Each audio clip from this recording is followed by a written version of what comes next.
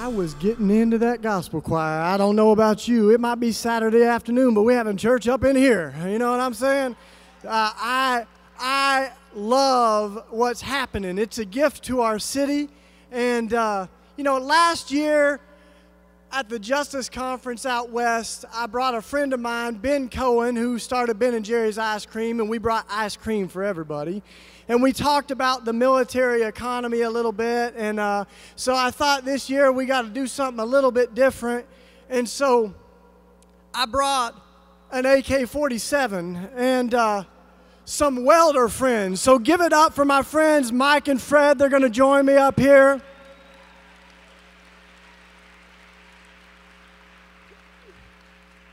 These guys, like Mike drove all the way out from uh, Colorado or something, right? Yeah, with with um, because he had to bring all that stuff, and and these days it's hard to get a forge and an AK on an airplane, so he drove all this stuff out, and uh, a year or so ago, Ben Cohen and I, we, we had this idea that we need to evoke the, the prophet's idea that we turn swords into plowshares, or these days that we might turn our guns into farm tools.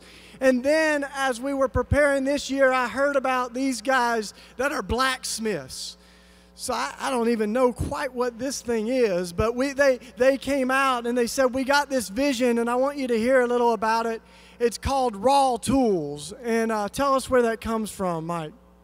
Well, it's uh, meditating on the vision of Isaiah 2 4 and turning swords into plowshares and teaching people to learn of war no more. So, taking weapons and turning them into garden tools to be used for creation and peace. Pretty sweet, huh? Now, you know, some some might ask, um, well, where are you going to get AK-47s? Like, how are you going to get these semi-automatic weapons? Uh, are you going to like buy them, you know, off eBay or at the local gun shop? But where, where, where's your idea that you're going to get these, or you've been getting them? Uh, we are asking people to donate them around the uh, maybe Mennonite churches. That's where we we're affiliated with, and we're also going to work with local communities and authorities to get the weapons that have been used in criminal activity. So when they're done with the litigation process, instead of being scrapped and made into sewer caps, we want to intercede there and take them and, and kind of use a, a, redemptive vision for them and put them in community gardens or local housing projects, things like that. Pretty sweet. So now, um, one of the things that you told me was that some of the metal that was used from September 11th, I think, went somewhere else than farm tools. And tell, tell me about that. In 2009, they took some steel from the, the two towers and they turned it into a bow stem, used it for the USS New York that was commissioned for the, the military and that really kind of helped spark me to keep going and to pursue this vision and look for something better to to respond to violence when or threats. Pretty sweet. So now here was the idea was that we were actually going to do this as a live conversion while I preached. We were going to convert a weapon. We had a little bit of a tr- trouble with what they call fire code. Crazy idea, you know. And so uh, but honestly, the folks at the conference center have been so sweet with us. Uh, we, we ended up having to troubleshoot a little bit. So, what we did was we called our friends around the corner at the Quaker building, the AFSC, and they're like, heck yeah, you can do it here. You know, like, who cares if you burn down the like national monument around the corner? But you know, like that's the, there. We did it in their building, so you don't get to see it live. But what you are going to see, this happened today, right outside of this building at the AFSC. Show us, Fred, what you guys started out with. This is an AK-47. That's a, a replica. The one that they used today was a real one it's really it's really eerie to touch one of these after um, the recent massacres because this is almost identical to the weapons that have been used uh, to hurt so many. And the AK 47 that you used was obviously not this one, but where did you get that gun? There's a lawyer in Colorado Springs who uh, knew a mutual friend, peace activist, and he had an AK 47 that he didn't feel like he wanted anymore. So he decided he didn't want to reintroduce it into the gun market, and that would be just as bad as uh, keeping it himself. So he turned it over to us, and we'll be uh, making a few tools out of it as well and donating it to a local community garden. So the great thing is you can actually um, make multiple tools out of one of these. And, and some would say, okay, is this like kind of artsy, you know, you're going to hang it on your wall or, or like, are these tools really, are you going to be able to use them? Yeah, the, the intent is to use them, and we're also going to be tracking each tool from its gun. So we'll take a serial number or assign the, the tool a number, and then we'll be able to show the story of an AK 47, what it was used for, and then compare it to maybe how many pounds of food are being grown with the new tools. So, how many people can you feed, or instead of how many people can you kill? So, we're going to lay that sucker right there ready to be smashed. It's in the next, uh, the next in line, but we're going to show some pictures of what they did today at the AFSC. And do you want to see what the, this is the before? You want to see the after? So Fred, bring that, bring that thing out for us. Look at this as you see the pictures of how they did it. That I feel like I could use in my garden. And uh, that's, that's what it's meant to be. So that was made, what, Fred, right out of the, the barrel here? So we're going to take that one, and you've got, some of you got these little cards that on one side you'll see more information about the transformation of weapons and at our table you can bid on this. I know you can buy one of these suckers for $5, but it's the vision and the dream, right, that we want to support. So you can bid on that one and take it home today. Uh, a, a little farm tool made, a garden tool made at the Justice Conference by these guys, and continue to track raw tools. We're excited about the conversion of weapons. Amen. All right. Bless you guys.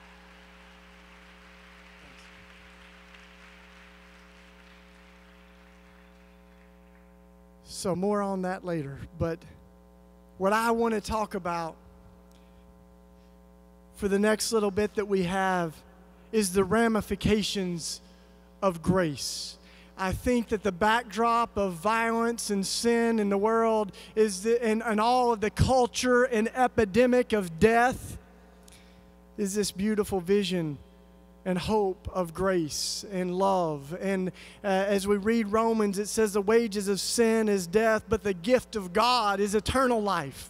Uh, life and through the love and, and redemption of Jesus. And so I think that uh, part of what we need in the world right now is a consistent ethic of life that says every human being is created in the image of God. So I asked the AFSC, the Quakers around the corner, I said, when I when we do this, it's actually really beautiful that we had this bridge because the Quakers have known this for a long time. They freed their slaves a hundred years before anyone else did. They knew it was right. They have been advocates for life. And so I said, Can you tell us a little bit about the Quakers? You know, and so this is what she said in a little text message here. It says, Quakers understand the most central belief is that good and that of God is in every person the basic tenet leads us to oppose everything that destroys life. We believe in the goodness of all people. Original sin may be true, but so is original innocence.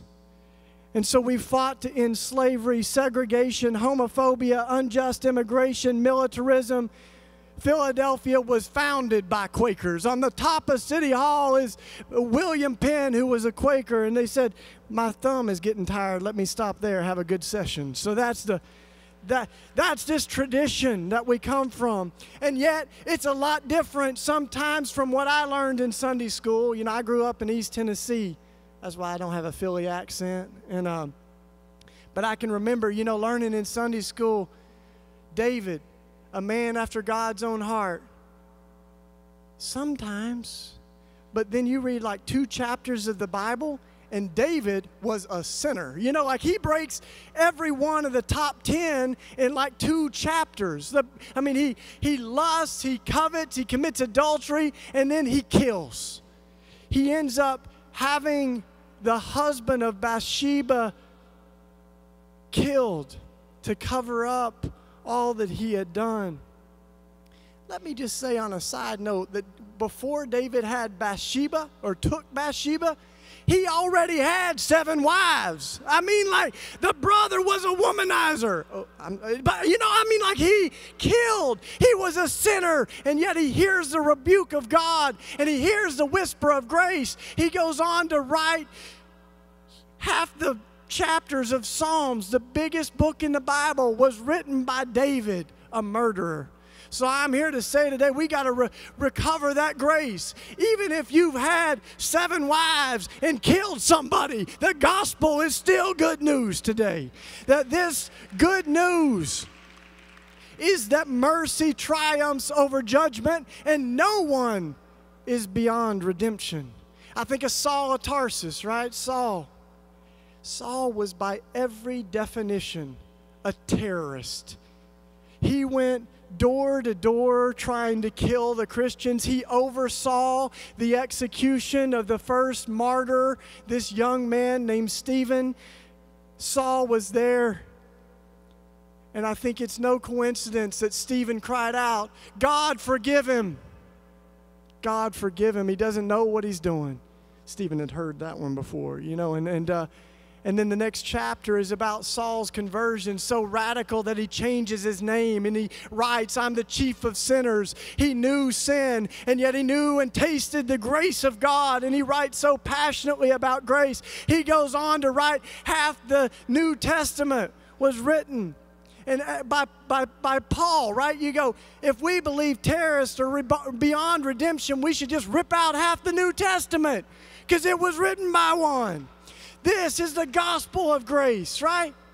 I think maybe that's why Jesus chose Peter.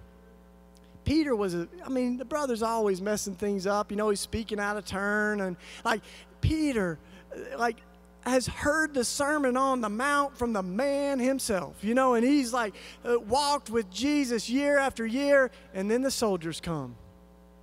And Peter's instinct is still, still to pick up his sword, and he, he picks up the sword and he cuts off one of the guy's ears. I think probably first thing Jesus did was go, Peter, you need to work on your aim, man. And no, probably not. But you know, like, like Jesus scolds Peter and he goes, No, you still don't get it. You pick up the sword, you die by the sword. That's not what this is about. This is about love. And then he picks up the ear. Pretty cool, right? Pops it back on the guy. That's sweet, right? Like, uh, but he scolds Peter. And the, the early Christians understood that so well. They said, when Jesus disarmed Peter, he disarmed every one of us. Because if ever there was a person who had a, a decent case for justified violence to protect the innocent, Peter had it. And yet, what Jesus teaches us is that there is something worth dying for, but there's nothing worth killing for. And that's what Peter does. He doesn't kill for Jesus, he ends up dying for Jesus. He dies for the sake of the gospel. That's what love does, right? And as we think of that, I think how beautiful it is that I, I, think, you know, of the disciples, you know, if, if Peter ever started to think a little something about himself, you know, and he's like, I'm the rock of the church. What? You know, I think all the disciples would be like, dude, remember when you cut that dude's ear off? Stupid. You know, like, so that that humility God works through broken vessels like David and Saul and Peter. And grace is so redemptive, isn't it? The world is starved for grace. It might not be our natural instinct. But I think of that man who had his ear cut off, right? Think of dinner that night with the family, right? Kids, how was your day? Kids are like, pretty good. I got a lot of Aramaic homework, you know. Like, how's your day, Dad? Dad's like, weird. You know, like we, we went to arrest this guy, and then one of his bros like uh, picked up a sword and cut my ear off. But then the guy that we came to arrest put my ear back on. He was scarred by grace, right? He'll tell that story the rest of his life. And I think it's, it's harder and harder to hate when we've tasted of grace. It's, it, uh, the early Christian said, Grace has the power to dull even the sharpest sword. I think of those movements like the civil rights movement. The power came from the the ability to suffer with those who suffer and to expose injustice so that everybody has to respond. Uh, that people begin to see folks that are beat down because of the color of their skin uh, and see people squirted in the streets with water hoses, and people begin to go, That is not right. And we begin to rise up. And I, I think, but part of the power of it was Dr. Martin Luther King and Rosa Parks and others, and they were saying uh, that this is a movement of love. And they said, we look into the eyes of those who hate us and we say, We love you. You can burn down our houses and we will still love you. You can throw us in jail and we will still love you. You can threaten the lives of our children and we will still love you. But be ye assured that we will wear you down by our love. We will wear you down by our love. And that's what grace does. I think of, uh, as I think of Jesus, I mean, I can't help but think like everywhere Jesus goes, he interrupts hatred and condemnation. One of my favorite, I mean, this story starts out rocky, but it's one of my favorite stories that there's this woman that's caught in the midst of adultery, apparently, and she's drug out before the town and she's humiliated. You, some of you know this story, right? She, all the guys have gathered around with their stones ready to kill her, and it was a capital crime they had a right legally to kill her, but that doesn't mean it's right, you know? And so they're standing around with their stones ready, and Jesus enters the circle of men ready to kill this woman. And the first thing he does is strange. He bends down in the dirt, you know, and he starts writing. And we were we were asking some of the kids, "What do you think? What, what's up with that? You know, what, what do you think Jesus was writing in the dirt?" And uh, one of the kids said, "Maybe he was writing, if this doesn't work, run, woman." I think, maybe, you know, I, I don't know. We don't know exactly what he did in the dirt, but we know what he did next. And what he did next was dazzle them all with grace. He says, Let the one who is without sin cast the first stone. And then, of course, he'll remind them and all of us if you've looked at someone with lust in your eyes, you've committed adultery. If you've called someone a fool, you're a murderer in your heart. None of us is beyond redemption, and none of us is above reproach. And you see the, the, the stones start to fall, and all the guys walk away and scatter. It's awesome. It's just Jesus and the woman. He's like, Where'd they all go? And the only one who's left with any right to throw a stone has absolutely no desire. And we can see that the closer we are to God, the less we want to throw stones at people. And when we think of that, how it must break God's heart that sometimes we Christians have been the first people to pick up our stones and point our fingers and rally the drums of war and baptize bombs, all in the name of the God of love and the Prince of Peace. Have mercy on us. And I think, oh, this is a beautiful thing that's happening. And the Justice Conference is a sign of that, of this uprising of love this bubbling up of grace in the world. I, uh, I got a letter from a friend of mine who was, uh, he's in prison. And it, he admittedly said he, he did something terrible and uh, he faced the death penalty for what he did. And uh, he said, But you got to hear my story. And, and he told it to me and he said, I'm alive today because of grace. And he said, The, the victim's family they were Christians. And so, all through court, they argued that I was not beyond redemption. They argued that God might not be done with me yet. They argued that we're all better than the worst things that we do. And he said, That's why I'm alive today. I was spared the death penalty because of the victim's family. He said, I wasn't a Christian then, but I am now he tasted that grace. So it's not just an ideological debate. This is conference isn't just about issues and rhetoric. It's about the integrity of the gospel and the fact that the gospel spreads through love and through grace and through people who walk alongside those while they're down.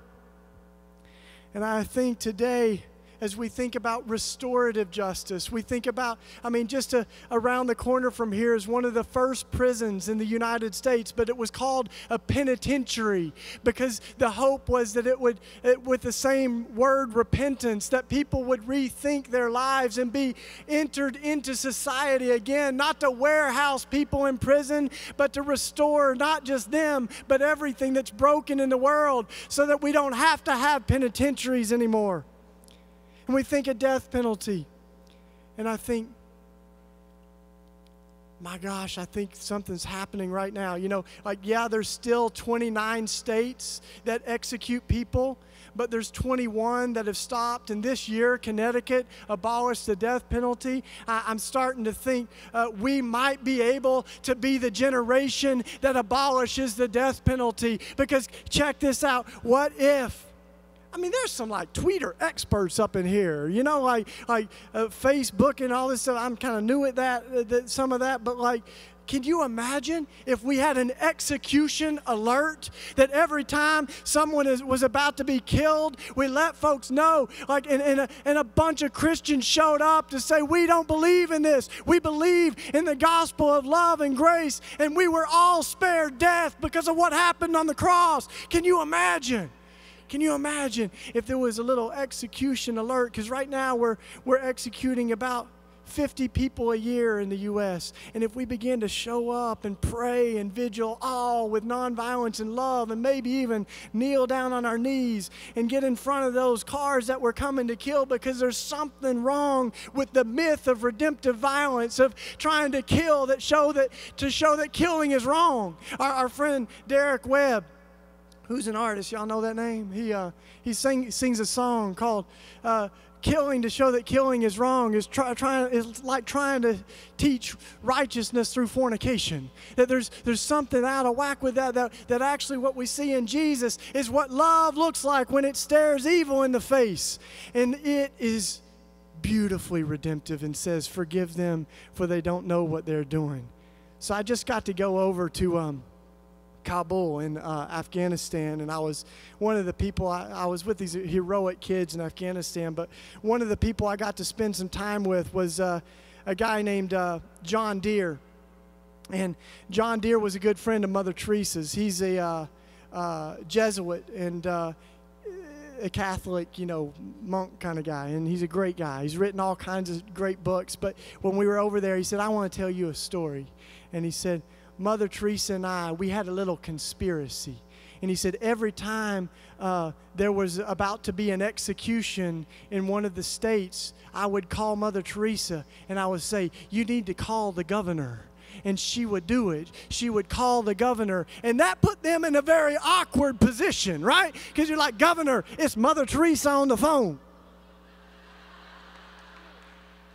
Either mother, the, the governor's going to say, nah, I'm busy, you know, or, or the governor's going to say, I'll talk to her. And when he talked to her, you know what Mother Teresa said? Mother Teresa would say to him, do what Jesus wants you to do. Uh, be faithful to Jesus. And, and, and, and one of the governors said, I'm not about to kill after that phone call. And so Mother Teresa came John Dear and she, he said, it was very awkward. She came up to me and she said, let's dance. We saved a life. And they started dancing together. And they said, we saved a life. We saved a life. And I, I long for the day that we might be able to say, we saved a life because we, we put our bodies, our gifts, our Twitter skills in the way of the pa- Twitter skills, in the way of those things that are, are preaching a different gospel than the gospel of love and grace.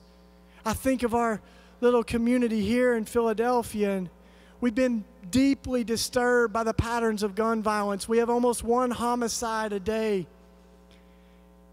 And I remember how, to, in a real way, one of those was a 19 year old kid that we heard the gun, gunshots go out. And we walked out and we saw him right in front of my house with, with bullets in his body. We prayed the Lord's Prayer. The ambulance came, and we found out the next morning he died, 19 years old. There comes a point, as Dr. Martin Luther King says, where It's good to be the good Samaritan and lift your neighbor out of the ditch. But after you lift so many people out of the ditch, you start to say maybe the whole road to Jericho needs to be repaved and rethought, that we need to reimagine the road where people keep getting beat up and left on the side of the road.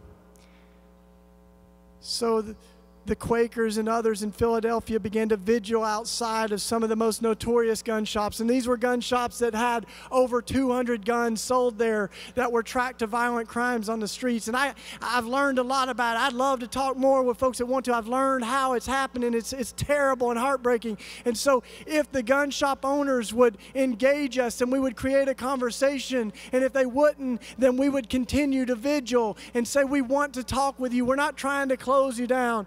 And eventually, some folks felt that they nonviolently needed to pray and to do an old fashioned sit in. So they put their bodies in front of the traffic of guns, just nonviolently praying and sitting in that gun shop. And they were removed and arrested and taken to court, and it was a showcase trial in Philly. Uh, schools were let out so the kids could come and see justice at work. And so, what was beautiful was as they told their story and as the, the patterns of gun violence were exposed in our city, what really happened was that the gun shop went on trial. The judge found all the defendants not guilty, and the gun shop license was revoked. The gun shop was shut down, and that was right around the corner, about a block from here. That gun shop is no more.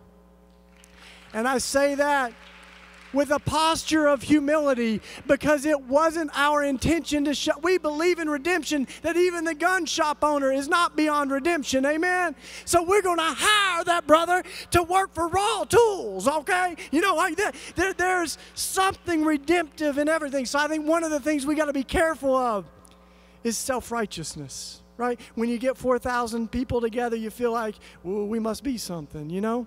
But I think we got to be careful of that because it's that self righteousness that is like the yeast of the Pharisees. It can infect us. It can make us think that this is our thing and that this that we are the pure ones and all those other people that don't care about justice, they're not real Christians, right? So we can get the self righteousness that is poison to our soul. And so if we're not careful, we'll end up being like, hmm, I would never drink from a styrofoam cup. Mm.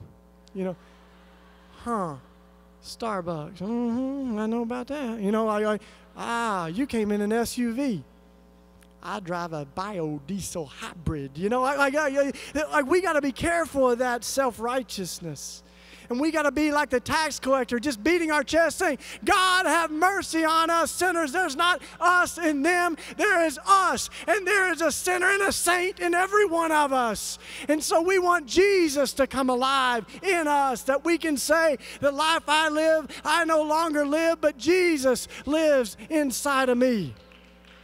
So let me, uh, let, let me close by, by telling you a, a really old story that I, it's when my eyes kind of got open to grace. And uh, when I first moved to Philly from Tennessee, moved into North Philadelphia, and there's so much in my neighborhood that I'm proud of. Some of my, my friends and neighbors, uh, Miguel and, and, and Derek, and some of my friends are here today, and we're proud of our neighborhood. But there's, we've suffered deeply economically. The factories left, and so we're left without, without a lot of jobs. And so now we're figuring out how to rebuild, reimagine our neighborhood together.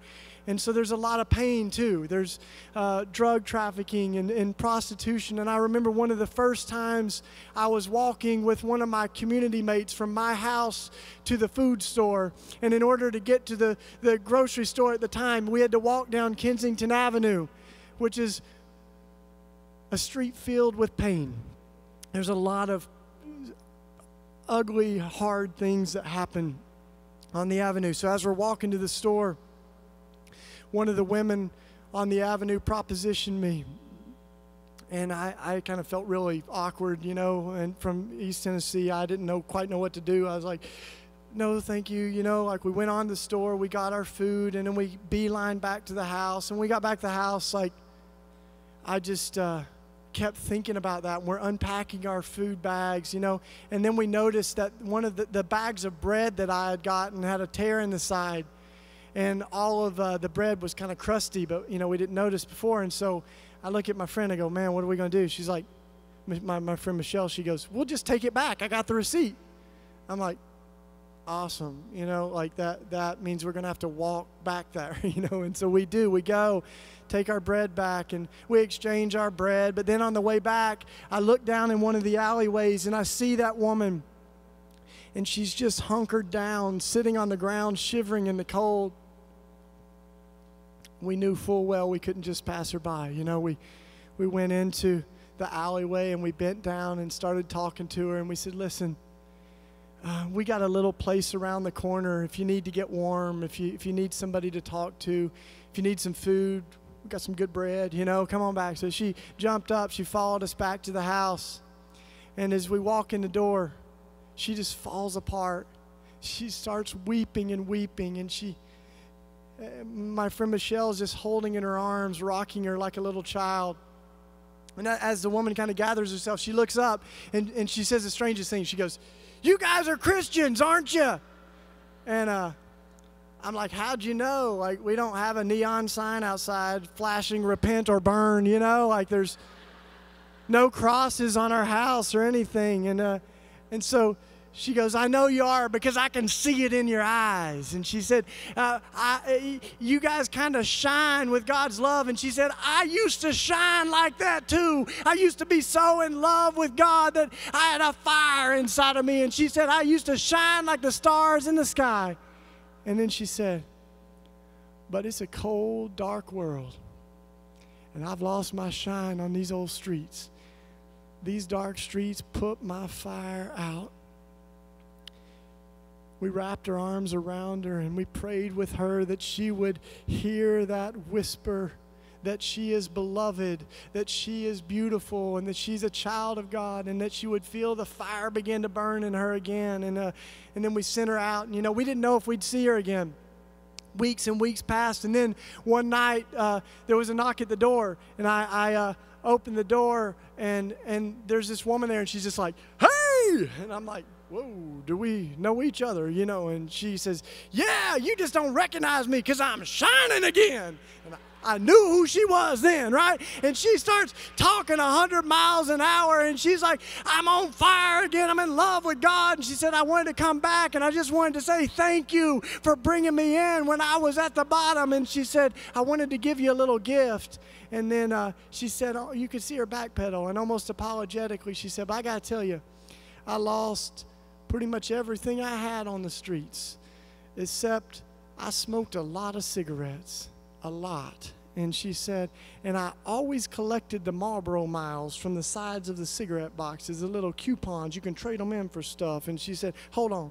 She goes out the car, she pulls out this box and brings it back. And I could tell it's boiling over with Marlboro miles. And she's like, they're yours. I'm like,